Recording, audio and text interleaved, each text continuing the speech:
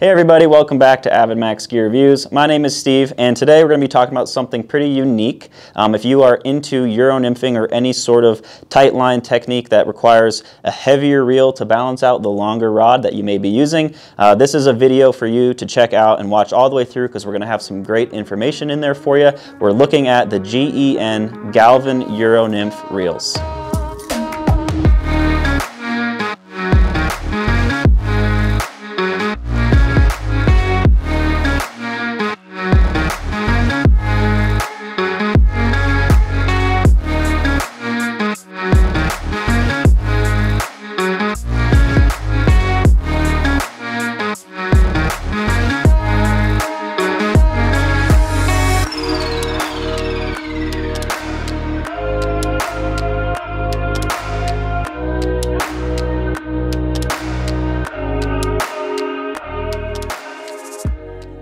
All right, guys, so uh, before we get into the real nitty gritty with these reels, I'm gonna give you kind of the 30,000 foot you know, overview of what we're looking at here. So as someone who enjoys uh, fishing with this kind of specialty rods myself, uh, these are reels that I'm pretty interested in personally. Uh, and what we're looking at here is two primary models. We have the 3.5 and the 3.7. Uh, that refers to the diameter of the reel, um, which if you're familiar with Galvan reels, these are comparable to both the torque and the rush in a five weight for the 3.5 and a six weight size uh, in the 3.7 respectively. Um, so in fact, you could actually interchange those spools with these reels and it would work. Uh, that being said, they're their own reel. They are built off the Torque platform, um, but they are their own reel. Um, basically, what you're looking at here is four different possible configurations of weight to counterbalance a wide range of rods. Like I mentioned, 10 foot two weights all the way up to 11 foot four weights and beyond. That's just kind of the core and there's a lot in between there as well. And when I say that there's four configurations, I know you're probably thinking you only mentioned two models of reels. I did. However, there is a $10 add-on item available for these made by Galvan. It's the, um, the counterweight kit. And basically this is a half ounce weighted washer that allows you to really customize the experience you want to have with the reels. The 3.5 lives here, the 3.7 lives here. That half ounce can be added to either one, and that gives you kind of four tiers of counterbalance options for whatever configuration of rod um, and style of kind of tight line fishing um, that you are looking to do. So another thing that we're always looking for um, to make a Euro-specific reel really Euro-specific um, is having a fully framed kind of closed cage design. Um, like I said, the Galvan GEN is built off of their flagship model, the Torque. Um, however, it does have this full cage, full frame design. And the reason that we like that is most of the time with these techniques that we're fishing with these rods, our line, leader, tippet configuration is, you know, no matter what end of the spectrum you're on of all-purpose commercially available leaders down to micro thin leaders, for all intents and purposes, that's always much thinner than the conventional weight forward floating fly lines that most of us are using in other situations. Um, the reason that it's important to have that closed frame design with those thinner lines is we've all ran into it or had people in the shop run into it or people we know run into it is having that line find its way between the spool and the frame itself into the track that the spool runs on. It gets hung up, tangled, twisted, whatever, which at least is inconvenient and at its worst is going to cost you a fish. So um, this fully addresses that and mitigates that issue by having a fully closed frame. Another thing that we're looking for in reels that are Euro-specific is a large arbor design, and the benefits of this are twofold. Uh, first and foremost, um, large arbors simply pick up more line more quickly. Um, that bigger diameter is going to retrieve more per each turn that you make.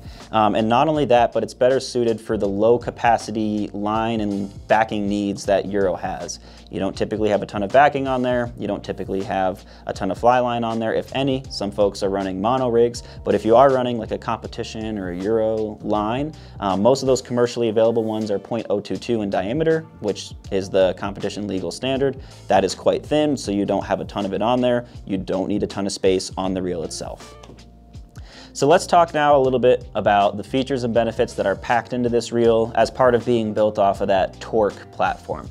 So all of Galvan's reels and spools are made with 6061 T6 bar stock aircraft grade aluminum, which is tempered to help with its strength. One feature that we've already talked about that helps with line retrieval is the large arbor design. Another feature that's gonna help with that is the easy grip handle. This is a large handle that has kind of a concave design um, that flares out. It has grooves on there. It's made of a Delrin uh, material, which is uh, thermoplastic that's nice and durable. It's good from negative 40 Celsius to 120 Celsius, so you don't have to worry about it in any possible conditions that you would be fishing in. Um, and it's just gonna help you um, be able to get under control of that fish without having to look down and find the handle. With the grooves, you'll be able to feel it, get onto it, and start picking up line. Something that Galvan does well in all of their reels is uh, a low startup inertia. That means that it feels incredibly smooth both when peeling drag as well as retrieving line. Um, and the reason that this is important for Euro is often uh, we're fishing light tippet um, and you don't want the amount of force that it takes to get that drag going to be more than once it's already going because that first initial run is likely where you're going to run into broken tippet if you don't have that low coefficient of friction going from nothing to something or from no fish on to hooking a fish and it's starting to pull drag. So that low startup inertia, that low coefficient of friction is something that you get with these reels. So the next technology that Galvan incorporates with this reel is maximum porting. And what that means is they're using intelligent CAD software to blueprint out every bit of excess weight that they can trim away in the process of designing the reel itself um, while maximizing that strength to weight ratio. So these should feel strong, responsive, and light. Um, obviously, we've been talking about how these reels are heavy because we want them to balance them out. Um, but on the whole, as far as striking a good balance between the amount of weight and the strength and how light and responsive they feel, um, these are really dialed in. Another technology that you benefit from with this reel is the Microtune drag. Um, aside from the drag having a large physical size, which makes it nice for finding it without having to look away from the fish you may be fighting and then dial, is that when you do go ahead and adjust it, it's very fine increments. Um, so you know, occasionally you might run into a situation where you're fighting a fish and you want to tighten down the drag because it's just taking you to school and you go to make an adjustment and it might be a quarter turn or a half turn. Sometimes that can be too much and you'd rather slowly get to that sweet spot than overshoot it and then the fish is gone, especially if it's a particularly nice fish. Um, think about it this way nice guitars, really nice guitars, when you're tuning them, um, those tuning heads, the best ones, have like a 21 to 1 ratio. So that way you can find your way to the perfect note that you're tuning to and not overshoot it. The cheap ones, you move it all around and you can't get it figured out because it's too much at once. The same principle applies to this microtune drag. The next technology that you get in these Galvan Euronymph reels is PBR, and I'm not talking about your favorite drink, Kyle, looking at you in the shop.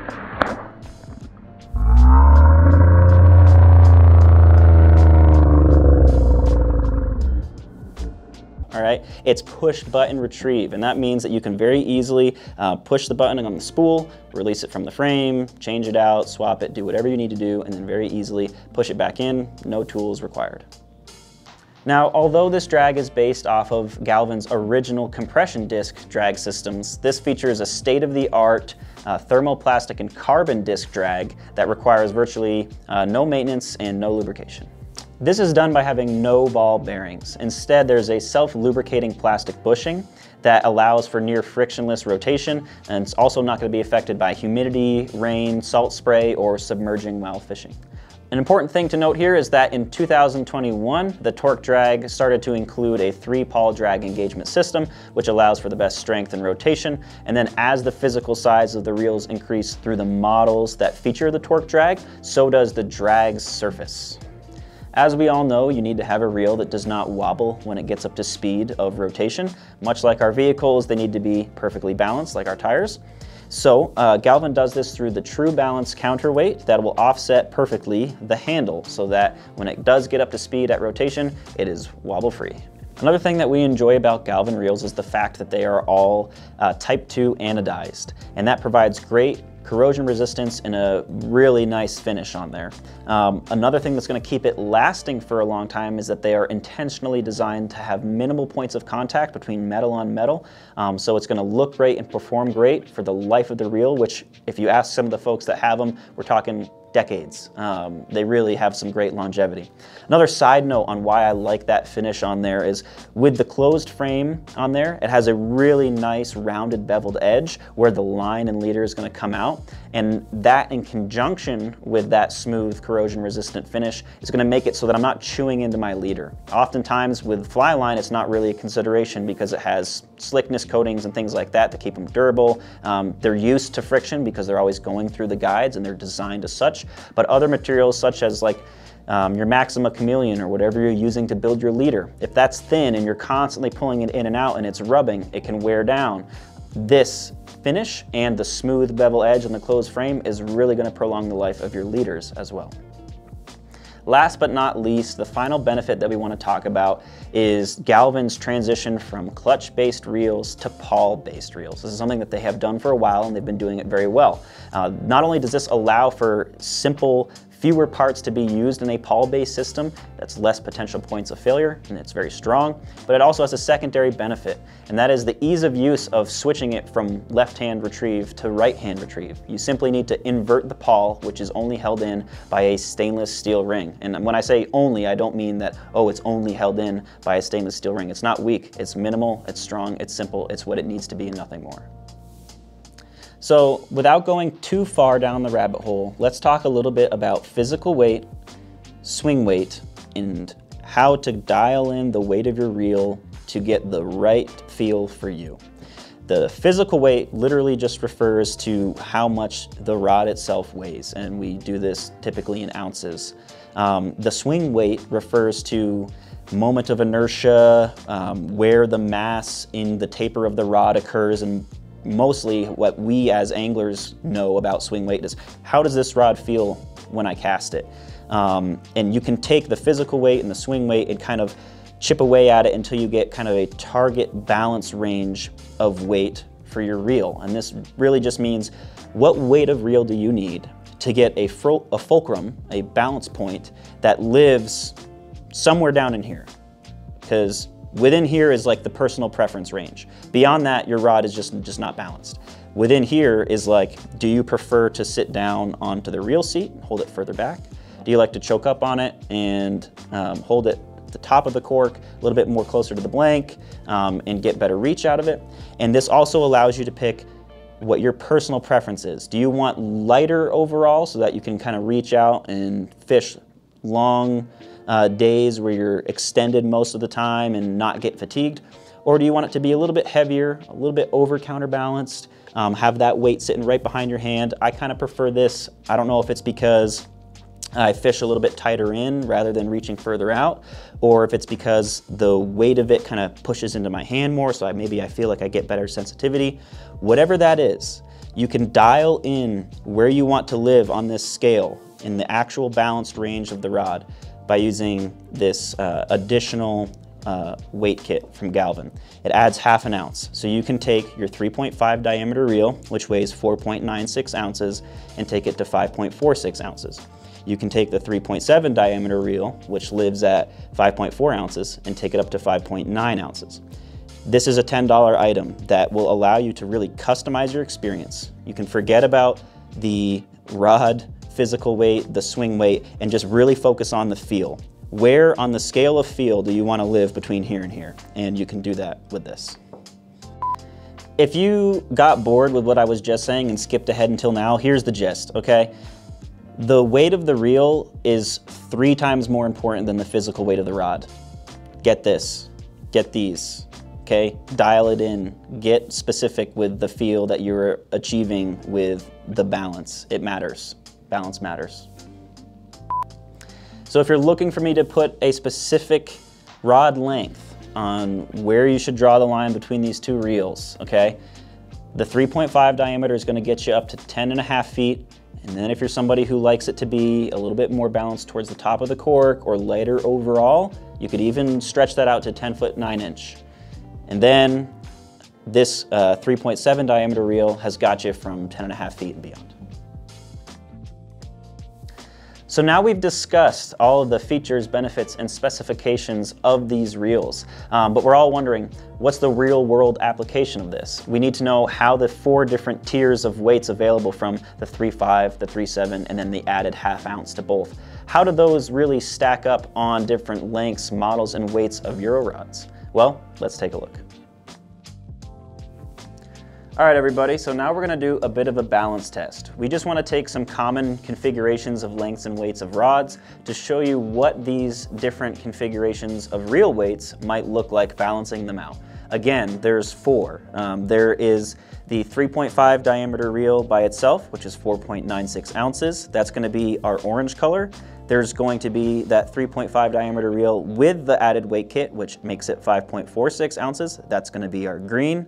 There is the 3.7 diameter reel, which is 5.4 ounces. That'll be our blue. And then there's the 3.7 diameter reel with the added half ounce weight kit, which is 5.9 ounces, and that is going to be our black. Um, you'll notice that we have a naked reel and a naked rod. What I mean by that is there's no backing or line or leader on the reel and none of that stuff is going up through the rod guides. The reason for that is we're trying to keep this controlled. There is just too many different versions of leaders and line configurations and formulas out there. Um, you know, all those things weigh different amounts. If we were to have the reel spooled up, it would tilt backwards towards the reel seat as such. But then if we were to pull the line through the guides, it would tilt back forwards towards the tip like that. Um, and just because you may be using a micro leader, that wouldn't pull so much towards the tip. Um, you may not be using fly line at all. You might use a mono rig and that would make the reel a little less heavy. Or you might be using a line such as the Orvis Hydros Tactical Nymph, which is actually a double taper. That's more mass. That would make it skewed towards the reel once more. So there's just too much variance to keep it controlled. We have a naked setup here to show you guys how those four different weight configurations balance out a 10 foot two weight, a 10 and a half foot three weight, and an 11 foot three weight. Um, this will basically demonstrate the concept of these different balance points, how the physical weight and swing weight of your rod uh, affects these configurations is for you to dial in, um, but we hope this guide helps you do so.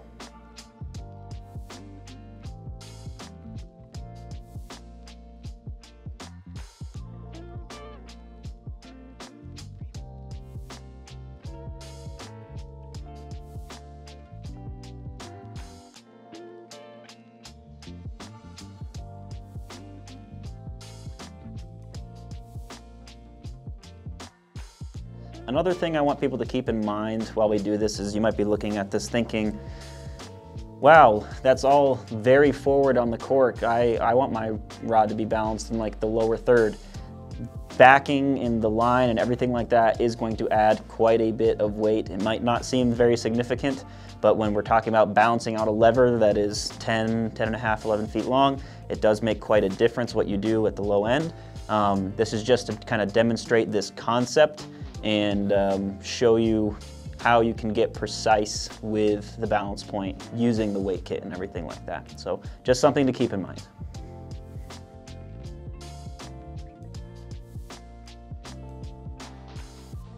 To give my concluding thoughts on these reels, I think Euro is a unique category within fly fishing. Whether you hate it or love doing it, um, it uses unique tools for the rod, the line, the leader, the flies, etc.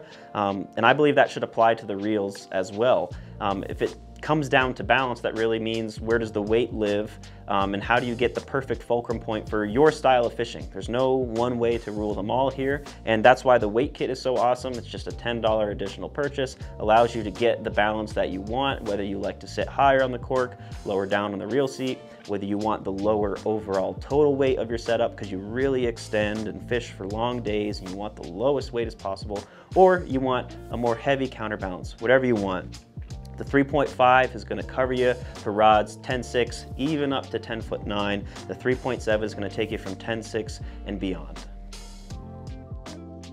All right, everybody, thanks for watching to this point in the video. We really appreciate you sticking around. If you like this style of video where we're getting very in-depth on a certain topic, um, let us know. Uh, leave us a comment, something you want to see in the future, a product shootout, a fly that you want us to do a tutorial on, anything like that. If you enjoyed the video, please throw it a like.